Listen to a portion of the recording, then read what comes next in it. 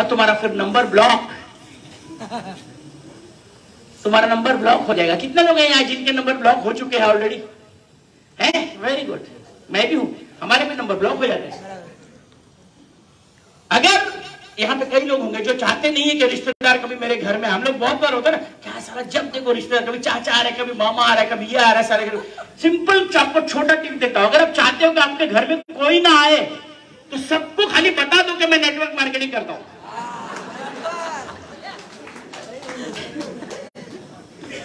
Birthday में भी बुलाओगे सारा कोई कोई नहीं आएगा।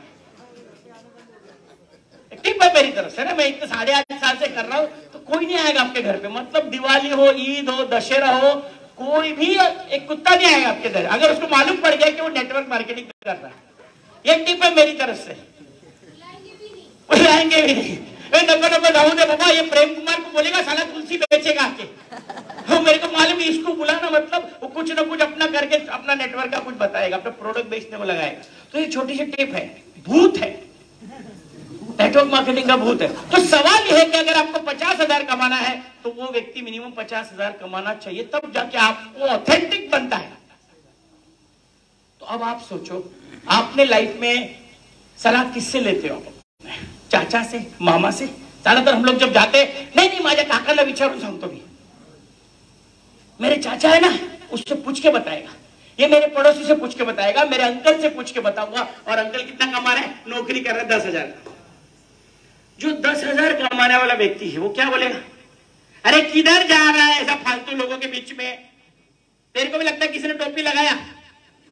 किधर गई थी तू? तो वो सेमिनार में गई थी ना कोट पहन के लोग आए थे ना। तेरा भी आज काटा उन लोगों ने। ऐसे बोलते ना तेरा भी लग गया लगता है कि तेरे को लोग फंसाने वाले। वो कौन बोलता पता है? जो खुद दस हज़ार कमाने वाला है। और तुम लोग ऐसे लोग का बात सुनता है। ये बात सबसे पहले प्रॉब्लम बाहर किधर नहीं है? प्रॉब्लम हमारे अंदर है। आपको सोचता है कि मेरा सलाहकार कौन होगा? अगर मेरे को मर्सिडीज चलाने का है तो मैं मारुति चलाने वाले सलाह लेगा क्या? No. मेरे को मर्सिडीज लेने का है और मारुति वाले को पूछ रहा हूँ मैं सांग मला मर्सिडीज कैसी घ्यायची उसको पता होता मर्सिडीज नहीं होता क्या? बस यही गड़बड़ है इधर। इस बिज़नेस में अगर आपको कामयाब होना है तो आज आपको जिस भी व्यक्ति ने बुलाया है यहाँ पे, ये देखिए यहाँ पे जितने कब से आप देख रहे हो स्टेज पे, ये जितने लोग बैठे हुए ये लोग अपनी